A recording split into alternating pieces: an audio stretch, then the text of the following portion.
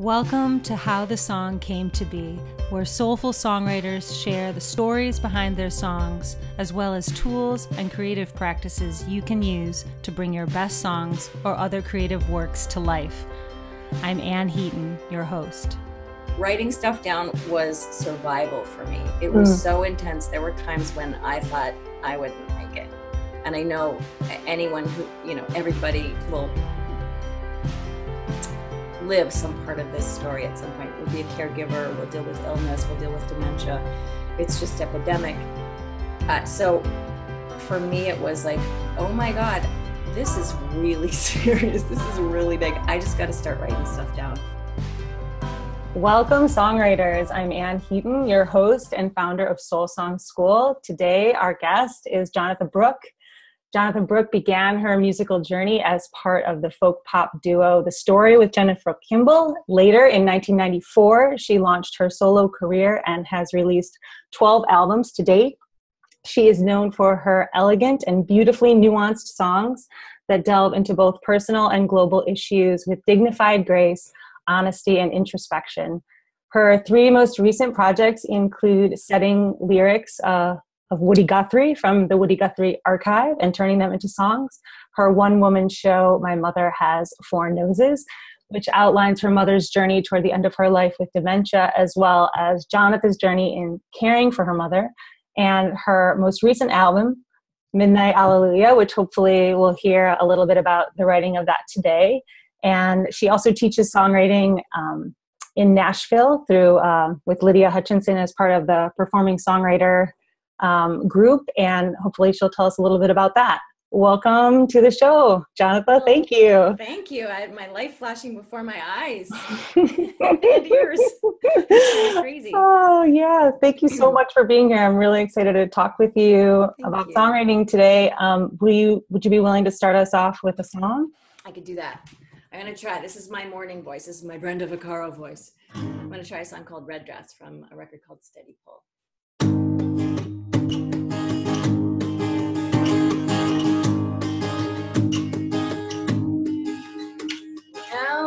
Dress tonight. You reveal your heart and tight. You can have the upper hand, and I'll pretend to understand why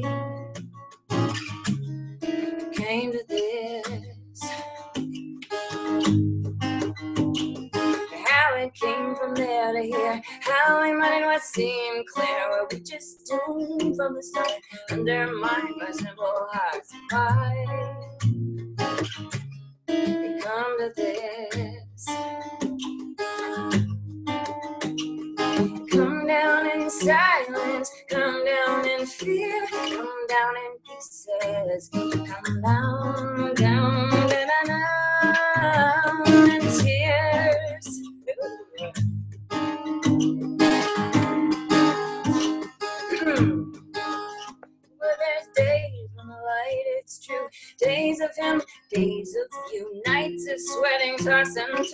Of feeling sick and burn. Why you come to this? As we take our places in the charade, the sun's too hot, then sit in the shade. Cherries still out, so we make lemonade. We ask why, why did come to this?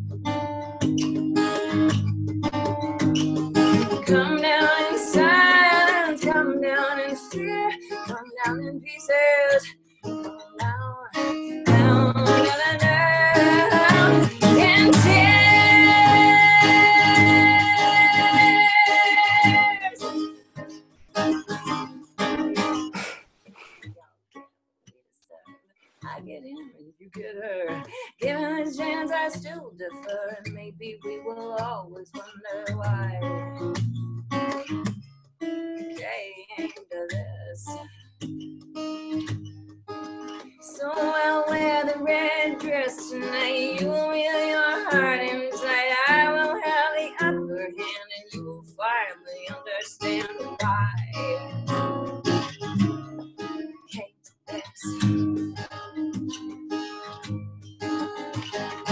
why, why you? Why.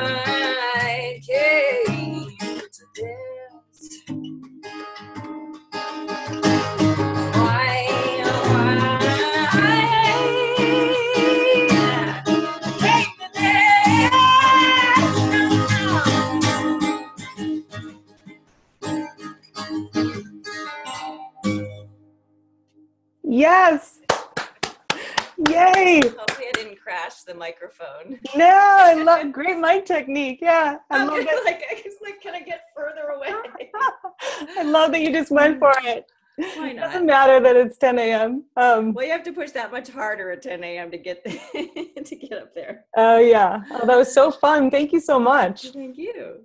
So one of the things, you know, of course, I want to dive into lyric writing and some of the really um, you know kind of difficult emotional content that you that you're you know you're fearless to go there. But one thing i was thinking about this morning i want to ask you a musical question. I feel like um you know one of the things i love and have always loved about your music is how like nuanced your melodic choices are your chord choices um, some of your tunings.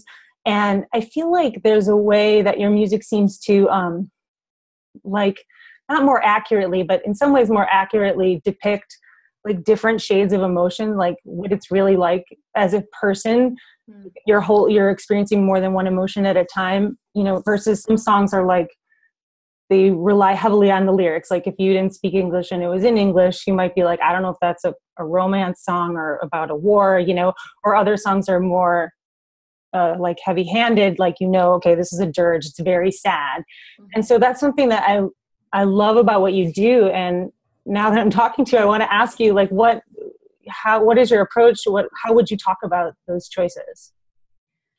Well, I think um, as a as a listener, as a reader, as a lover of other music, I like when it's complicated. I like when I'm not pandered to. I like it when I'm overestimated in a way as as a listener, as a mm. reader.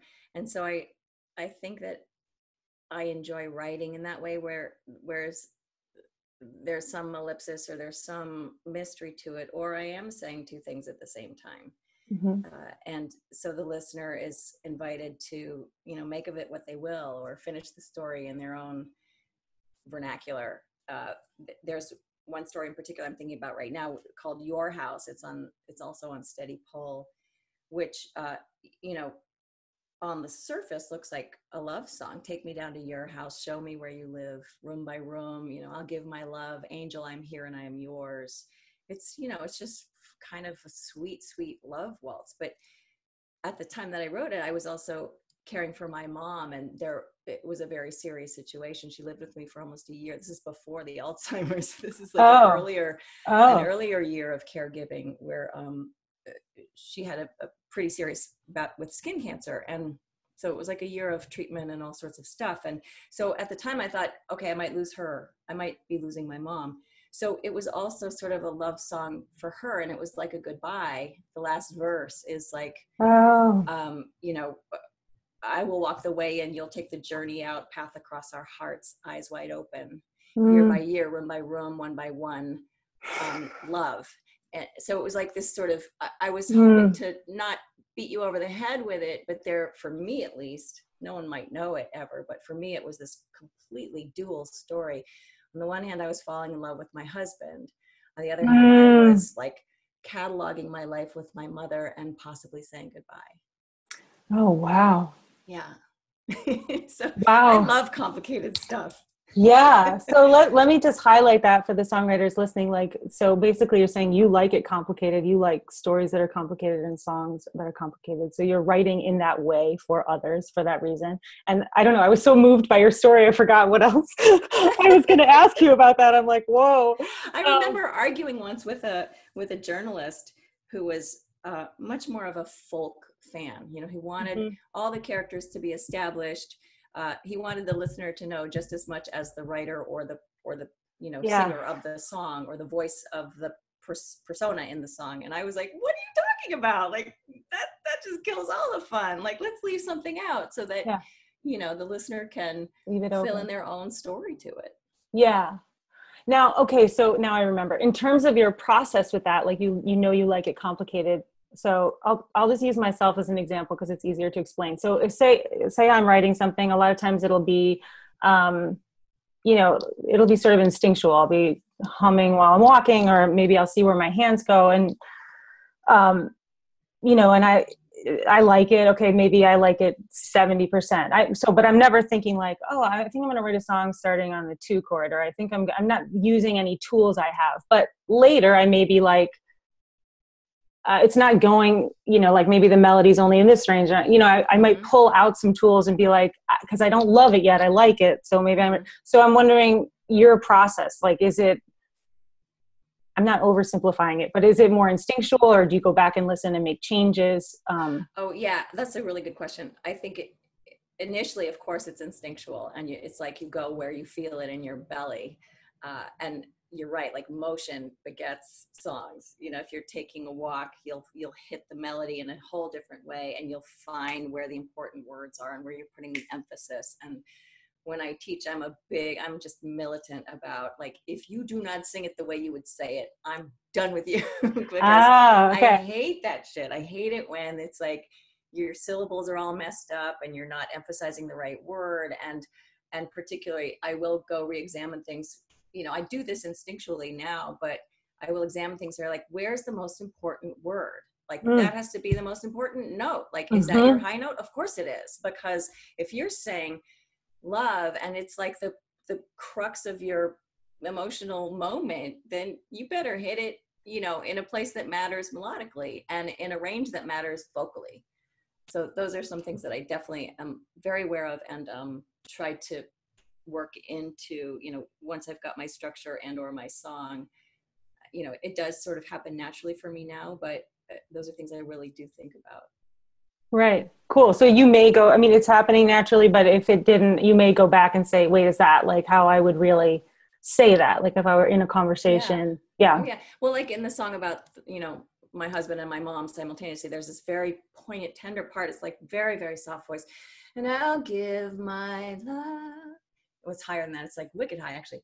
Give my love, give my love. And then, angel, I am here and oh, yeah. I am yours. Oh yeah, I remember that. Oh my God, it's a really important moment, and I'm and so I think I tried to make it like that much more poignant by saying yours on the downbeat on that tender high voice mm. and love was mm-hmm. high and angel was high and then yours had its whole and its own whole space mm. yours mm-hmm. and those are like tooly things but it, you know it came out naturally but i think it all is part of that word painting thing that we strive for right wow i love that i remember that line that's so beautiful and so is that so just to highlight that with a yellow highlighter for songwriters listening this is something would you recommend that like if they don't have it yet or they listen back and they don't love it yet that they would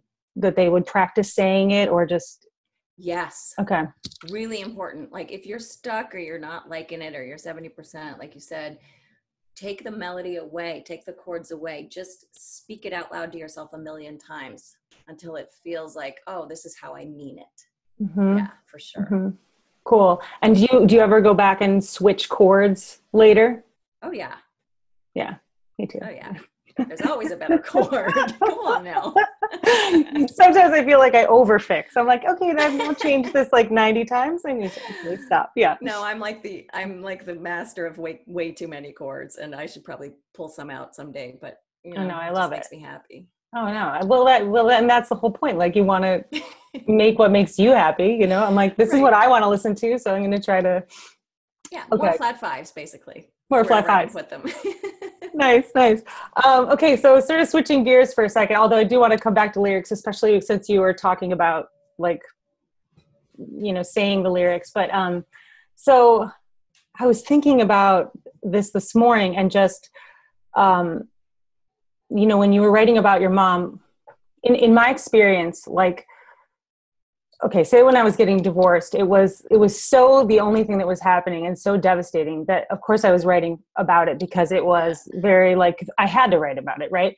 But um but most of the time i'm writing about stuff a year or two later. So like right now i have two little girls and i, I write about them a little bit not much you know? And like i'm writing about stuff from like three years ago i'm processing that now and i was just pondering like the level of of presence that you cultivated or just had when you were because caring for your mom um, you know, just to, I'm just going to say what I'm talking about. So Jonatha wrote "My Mother Has Four Noses," which is a series of songs and a and a Broadway play um, about her mom's journey.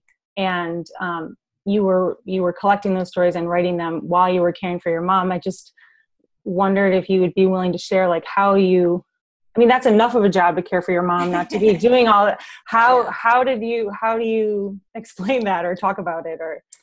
I think that in that kind of a situation, creativity is survival. Uh, I dropped everything. So my mother was my full-time job. I had I had hoped to, you know, make another record and do my sort of cycle of things. Make record, tour, write more songs, make new record, tour, write new songs. But uh, when it became clear that mom just really needed round the clock care, I was just like, whoa, okay, I'm I'm in, I'm doing this. And and my husband also insisted, which, you know, is pretty amazing. He's a saint. Yeah. So once uh, once once we moved her in, we like packed up an SUV and moved my mom in with us in New York City from Boston. Uh, it became pretty clear like wow okay this is really intense this is this is all i'm going to be doing for for quite a while who knows how long so create writing stuff down was survival for me. It was mm. so intense. There were times when I thought I wouldn't make it. And I know anyone who, you know, everybody will live some part of this story at some point. We'll be a caregiver, we'll deal with illness, we'll deal with dementia. It's just epidemic. Uh, so for me, it was like, oh my God, this is really serious. This is really big. I just got to start writing stuff down and I got to I got to find like little moments here and there that that will fuel me somehow on that side that I'm I'm missing. I can't go out and tour really. I, I did a few things here and there once I had caregivers that were helping me, but um, it just became survival really. And and the I mean I have to say, mom was really complicit in in writing the stories down because she was very funny. She was she was hysterical sometimes with you know she was demented but she'd right. come up with all this crazy stuff and she'd be she'd be saying things like you might be refrigerated for other expectations you know because she loved words she loved yeah. wordplay she was a poet she just yeah. so even when she couldn't find the words she meant she would just find the biggest ones that could fit in her mouth and she would just pronounce these things. And I'd be like, Mom, that's brilliant. Uh, she said, Are you getting this down? Because oh, we yeah. should make a play out of it. And so oh. that became like, all right, that became our sort of banter. And then I'd be like, Yeah, mom, I am getting it down because I think this is going to be bigger than the two of us. You know, this might not be just my next record. This might, this is theater. This is good theater. Yeah. She was, she was really funny. So I have to say that mom was complicit in sort of like, write this down, Booley. Booley is my yeah. nickname. So yeah, I've heard that song. I love that. Yeah, that's I a love good that. one. That's the first one in the show. Are you getting this down? Oh, I get the chills when you talk about that. So, did was there any level of consciousness of like this is a way to honor my mom or like give her a gift, like knowing where it was headed, or was it more just like, you know, I'm going to write this down because that was really funny, and I'm a songwriter. That's what I do. Yeah, I didn't have the end. I had no I had no notion of what it would become. I just knew that it was beautiful, poignant, funny, awesome stuff, and I didn't want to miss a moment or forget any of it. And it was only actually after I started performing the show that I realized, wow, this is really a love story. This is this is like a love story about me and mom, and it is a tribute to her. And because people started telling me like, wow, I wish I knew your mom, or like, you know, what a tribute. And I'd be like, oh, that's what, okay, awesome. I guess I got it right. yeah. Oh, that's so nice. Yeah. That's so nice. But oh, you know, in the middle of the process, it was just like, how how do I tell this story to myself? First of all, how do I write this down in a way that is, um, you know, poignant and and truthful and yet funny, and you know true to her spirit and her character and right. so i started journaling about it on my on my website I, I had this blog going and i would write journal entries and that was sort of the oh. genesis like, okay these are these can be short stories it can't doesn't have to be overwhelming to me i'll just write short stories i'll write what right. happened last week and then see what comes of it oh so so then you had these series of journal entries that you could yeah. then go back to yeah and it was and it never felt like hard. It, it did it always feel therapeutic like that it was serving you and and helping you? It felt like yeah it felt like if i don't do this i'm going down. As most caregivers will tell you there are moments you know when you you just you want you're like oh my god this will this end? Like how how how much longer? Yeah. Because it's that it's that it's that hard I think it's so amazing. Like she was not a sleeper. So. Oh really? Yeah. If you were on night shift, it was just brutal. oh God. she was up every forty-five minutes. Wow, I think it's so ama- amazing that you did that and so beautiful. Just oh, she was pretty awesome. you got to see the show. I know. I have to see the show. I can't believe I'm talking to you. I mean, well, it's coming to Minneapolis. You're a little closer to me. I'm in. Yeah, yeah, I'm Minneapolis in, in February. Yeah, perfect time to be here. okay, I used to always tour Minneapolis in the winter. It's fine. Yeah, there you I'm go. coming. I'm coming to the show. Um, cool. So let me. Um, I, you just. I'm remembering like my own grandmother. Like when she yeah. was dying. Like I remember because I heard you say something in an interview, and you're saying it now. But basically, like you know she was dying and then she she was on some drugs and she started like doing this weird flirting thing with my grandfather where she'd like lift her dress, you know, and we'd all be laughing and then somebody would be like, "Don't laugh, it's not funny," and we'd be like, "No, it it is funny. No, it is funny. Actually, you know, love that you're laughing. It's, it's also tragic, but it's but it's funny. Like, and so yeah. Oh yeah, mom um, would mom would flirt with my husband all the time, and then you know my brothers got kind of wigged out when she forgot who they were, and you know you know they're good looking guys so she would flirt with them and it's part of dementia and if you don't right. sort of know what you're doing you, you know you could get really kind of freaked out but we thought it was hysterical especially with my husband she was just so enamored with pat it was just awesome oh my gosh that, yeah oh, that and is that in the show uh we that part didn't make it in there's okay. this one there's one scene where like only Pat could comfort mom when she was at her, you know, in the throes of despair. Like she needed a man's voice. So we'd we'd run, we'd like get Pat. Pat, please, can you just come give mom a hug? Can you? We can't get her out of this mood. So Pat would come and he'd give her a big hug, and then little by little she'd sort of stop, you know, sobbing like that, and then she would start sort of feeling his his shoulders and then his his arms, and she'd just be like. And one day she's like, golly, you are built. Now, and then she turns to me, she goes like, now, did I have him first or did you? And I just like lost it laughing, and mom was like so thrilled that she made us all laugh. That she made you laugh. That you know, the tantrum was gone and the mood was gone, and she just flirted for Pat, you know, with Pat for 20 more minutes, and everything was fine. Oh, that's Golly, so you are built. That's so funny. That's so funny. That's awesome. Yeah. Um, all right, let me ask you. Um, I have so many questions. I don't know what what to ask first, but it sounds like so. Obviously, this was super therapeutic. Are you ever in a situation? I feel like I work with some songwriters who are like like there's someone that I have in mind right now who's writing something about her grandparents and the war and it's actually really hard for her to go there but she feels like it's a song she has to write yeah. and so one of the things we talked about is just writing for 30 minutes or writing for an hour and then walking away if it's too much are there have you had that experience and if so like what are some of the ways you kind of take care of yourself mm. if you feel mm. like it's worth it that's a really good question there's one song in particular called the angel in the house which is on a record called the angel in the house and it was a song pretty much about my parents divorce and my family didn't talk about stuff you know we it was a, just a total shock when they came to us and said, you know, this happened and we're getting divorced. And we're just like, what?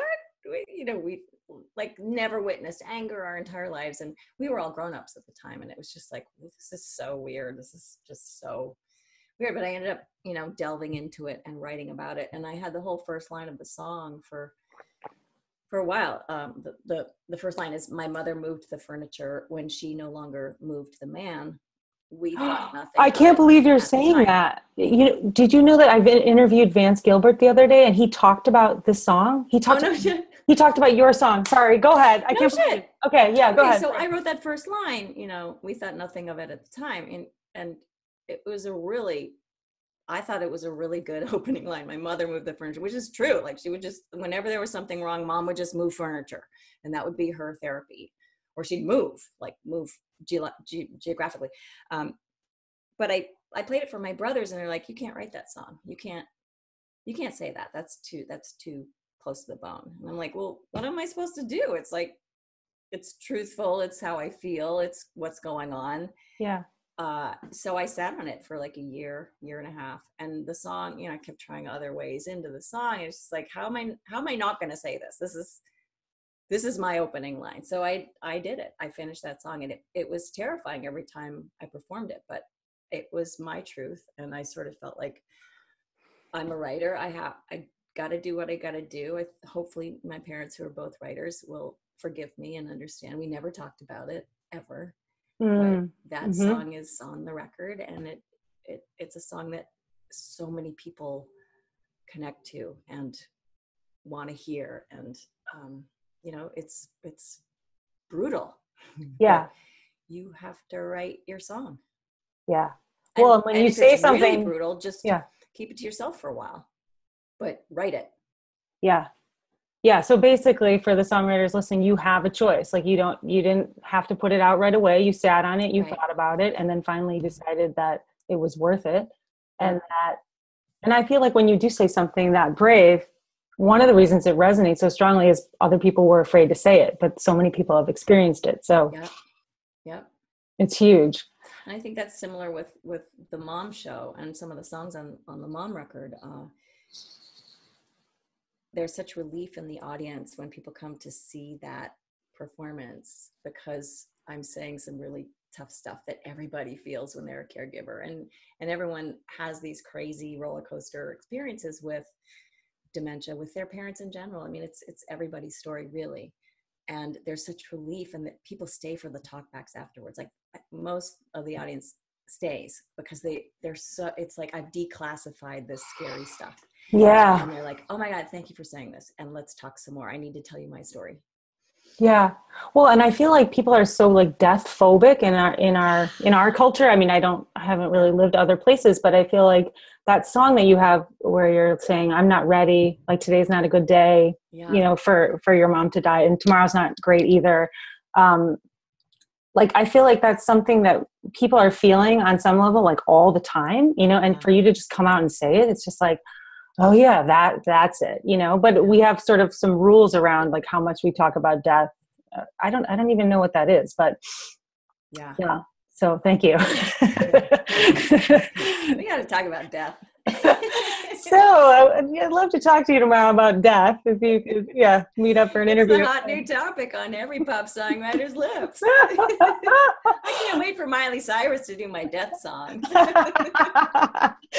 okay, so all right, get maybe getting back to to craft for a second. Um, so I heard you say that one of the ways that you started writing about your mom was just doing these journal entries. So it's not like yeah. you were sitting down and you were like, I'm writing a song. So you were you had you had that to go back to. So that's a technique that you use yeah. um, that you also if you write something that feels too raw or might hurt someone's feelings you can sit on it. You don't it doesn't necessarily have to be shared but you still write yeah. it. You got to get it out though. And decide later. Yeah. Um, and um, i guess what i'm wondering is i forgot what i'm wondering because i just thought about a song that i wrote that i never that i couldn't share. Oh. so like four years later i like used it for parts I like pulled out the, the core emotional message, but changed the people. Yeah. And that song never was only heard by a very few people. But anyway. But it's um, like auto parts. You know, you never know when the carburetor for the old car will fit in your new one you just got. So what the hell? Yeah. The parts.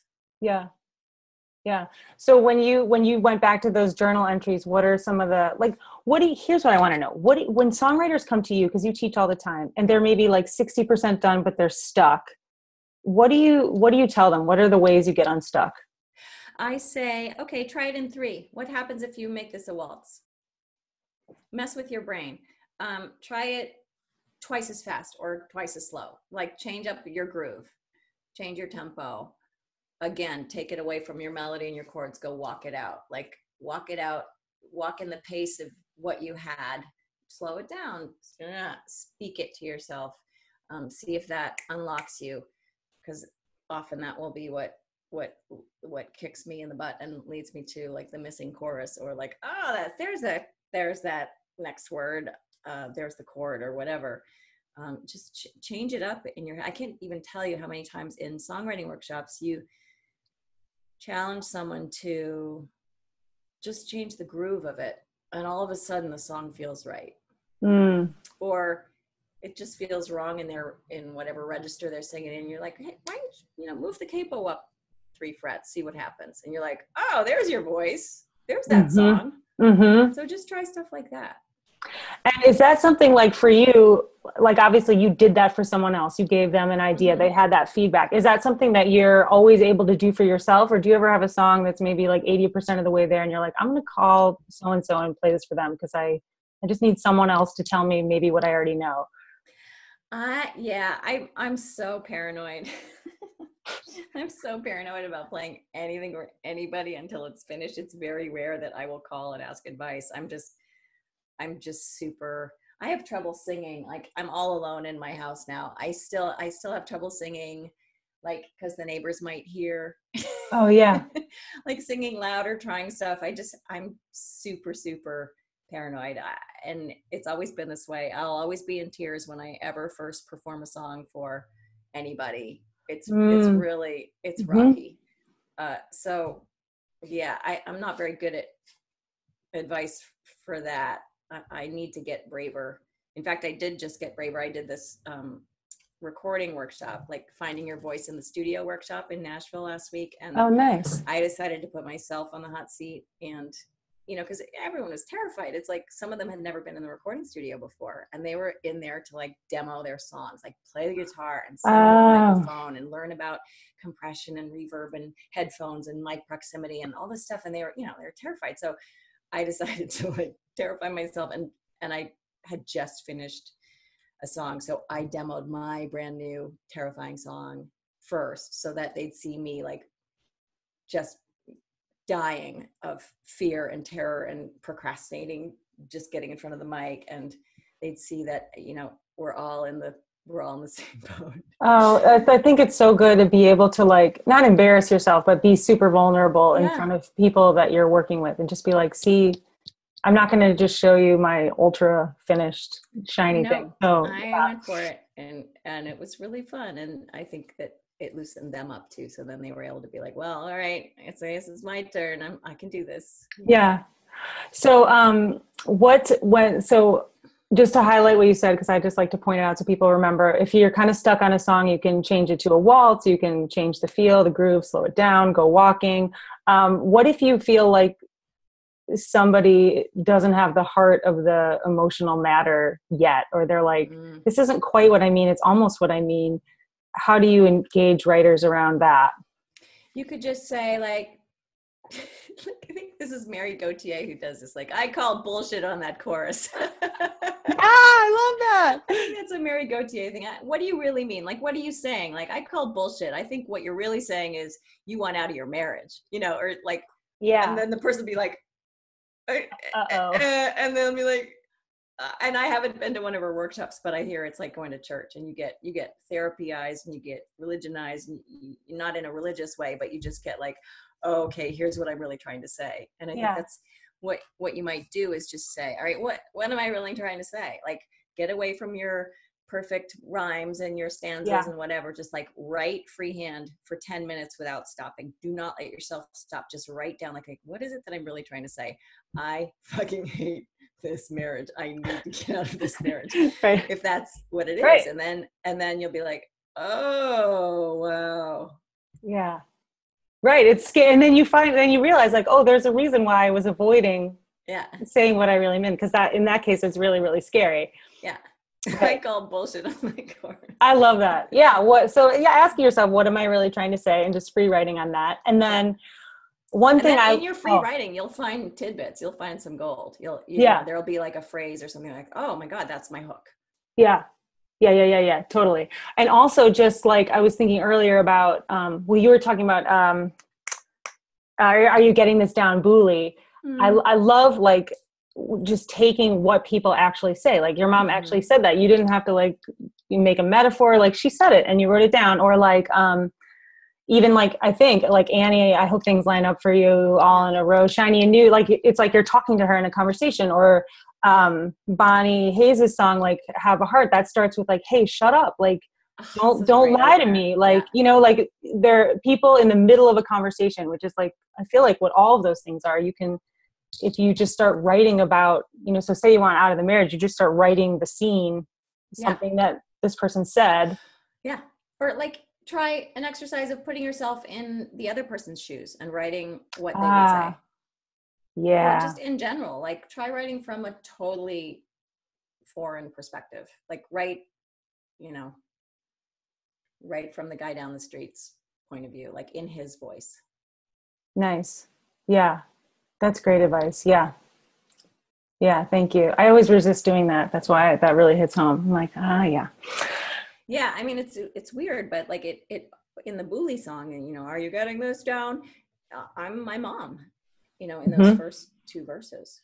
Mhm. and and it it it has that much more poignancy and and weight to it because it's it's mom saying are you getting this down this is good stuff are you getting Yeah. this down you know you really should and um and and then she's in a more sane voice saying like all my pretty promises all my my pretty promises my desperate amends my desperate amends couldn't put me back together again but you did you did and that's something that she told me you know? Ah. She's like, I couldn't have done this without you, Booley. So I got to be her voice in that song, saying that to me. and then at the end of the song, I come back to like, are you getting this down? Yes, I did. I did, Mom. I re- I did. I got it down, and here and here it is. So beautiful. So beautiful. Thank you for sharing that. Thank you for going there. Um, so good. So, is there, would you be willing to share a song with us and tell us the story of how it came to be written? I feel like we've been doing a little bit of that the whole time. yeah, sure. Well, this is on the new record. Okay.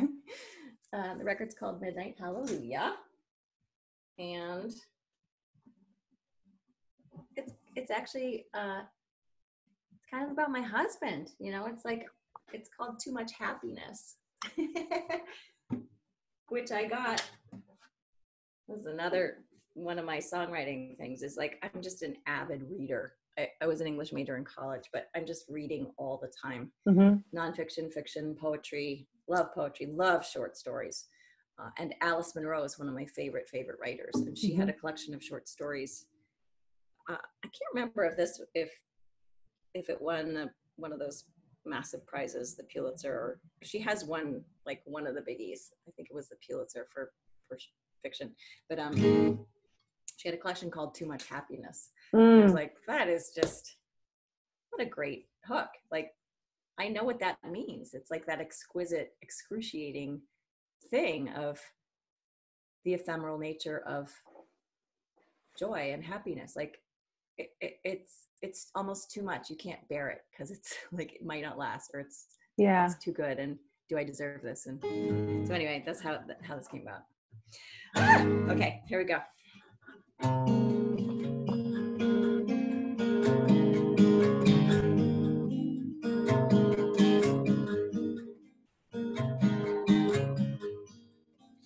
Lost without you here. Desperate when you're far.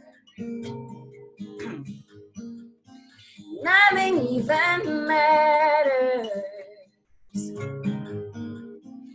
I'm not where you are.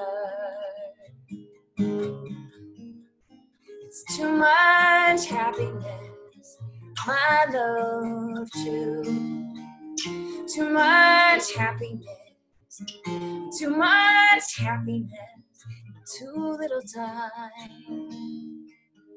You.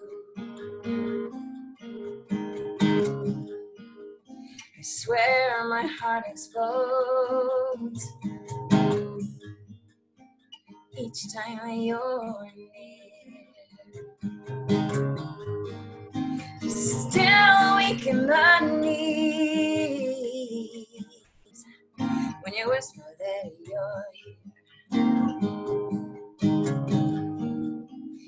Too much happiness, my love, true. Too much happiness, too much happiness, too little time. You say don't worry, you say don't fret. I say I can't get enough of you yet. You say tomorrow will come what may, but what if tomorrow doesn't mean always?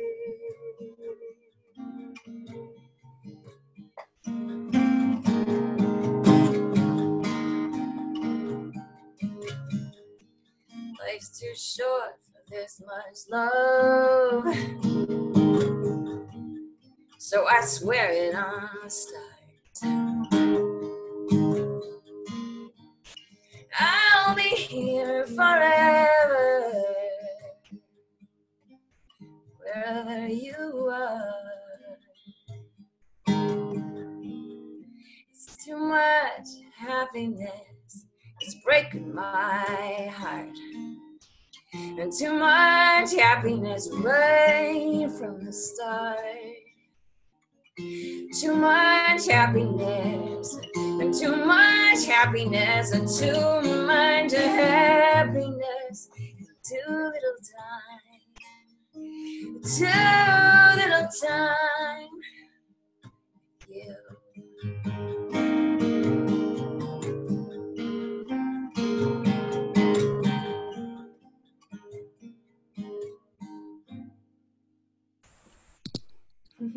Thank you so much. Yay. You're welcome. I love that you love your husband.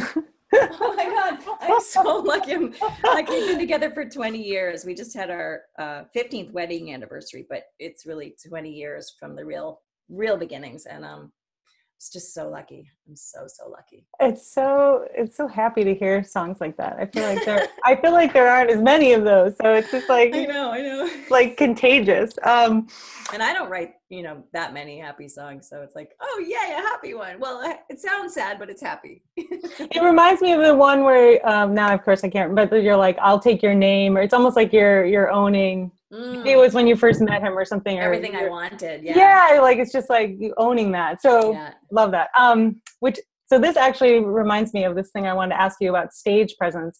Uh, because, um, you know, just like in that song, you're, you're acknowledging the happiness and that it's here, even though it could leave, you know, life could be short. But in terms of something I've always loved about you is that, um, sometimes I feel like I mean, men do it too, but I feel like some women performers um, may um, kind of endear themselves to the audience almost like by maybe I mean, putting themselves down a little bit, or or like not taking up space, or you know, I mean, some of it might be like, you know, I'm just like you, you know, whatever. But I feel like you don't, um, you don't do that. Like you, you just like own the space very naturally. And i just wonder how you think about it and if that if you got that from your mom or you're just that way or huh.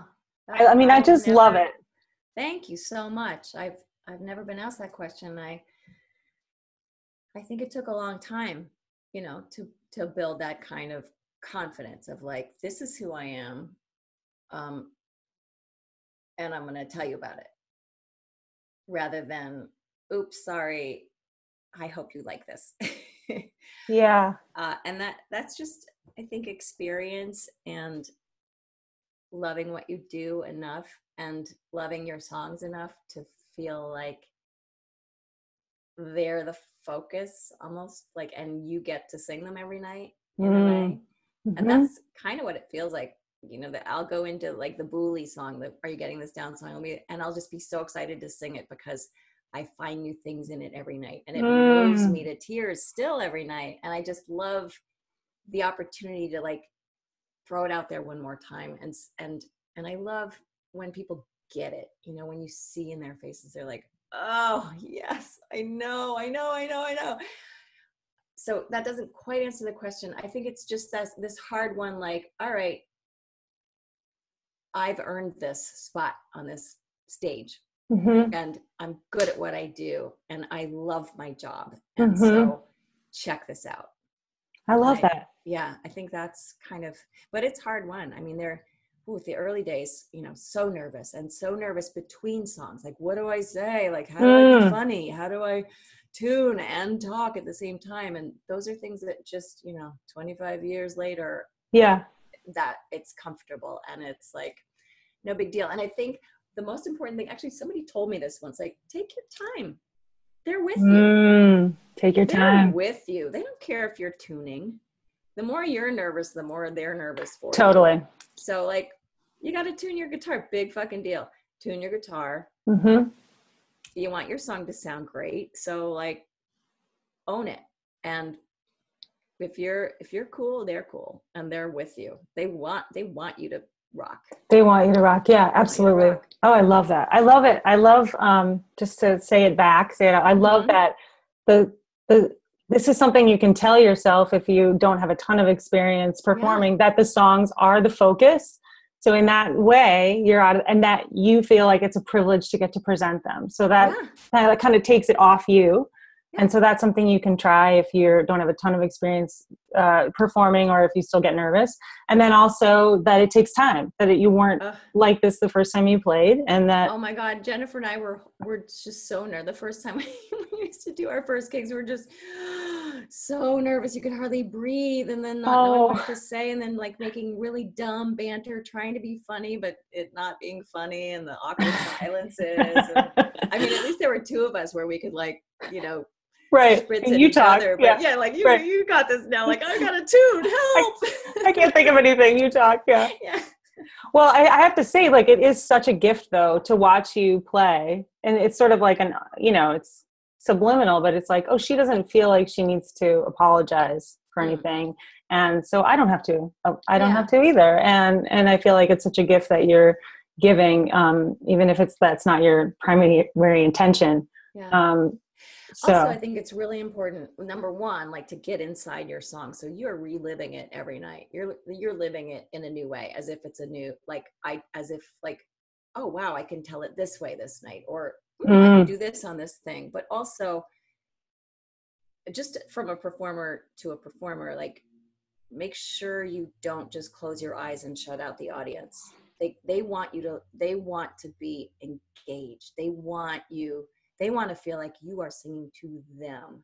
And this is something I've learned from like my favorite performers. Al Jarreau had this. Um, Cyrille Aimée is this young jazz singer, unbelievable on stage. Um, but she has this engaging like warmth and charisma that makes every person in that room feel like it's about them. And I Oh, think yeah. it's really don't close your eyes just because you're nervous. Like engage and look, you know, make sure you're addressing the entire audience. Like in, include everybody in your visual reference. Um, you may not even be able to see them. Pretend you can. Like Yeah. like it's it's um again it's hard one. You you have to learn this, and closing your eyes is much easier because it's less Yeah. scary, and you're Yeah. not making eye contact with someone that might may have a weird look on his On a weird look on their face, whether yeah. he knows it or not. Like some people have like the weirdest audience faces in there. You know, they'll be like for the whole show, and then at the end they'll be like the first one on their feet, standing ovation, Yeah. clapping their brains out, and you'll be like, "Well, where the hell were you the last Right. hour and a half?" That's the guy who buys like 10 of your record, but the whole time you're like, that guy hates me. Yeah. yeah, the whole time he's got like "fuck you" face on, and you're like. Oh my God! I'm gonna win. I'm gonna win this. I'm gonna win this guy over. I'm singing right. To, I'm gonna fucking get you, dude. Mm, I love that. Yeah, be proactive. That's so Yeah. great.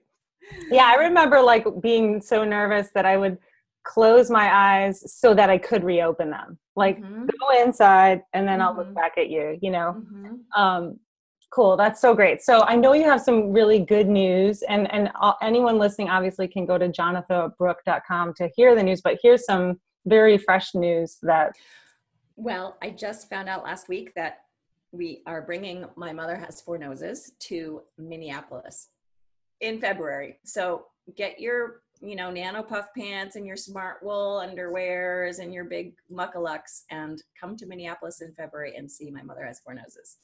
awesome. I can't wait. I will be there. and I'm go- I mean, I'm coming. I missed it the first time. I don't know what happened. I think maybe I had a brand new baby. I don't know what happened, but Uh, I'm well, that could have uh, that might have been Yeah. you might have been it. Um, and then before we say goodbye, is there any parting advice you have for songwriters? If you could say one thing that you would like to leave them with.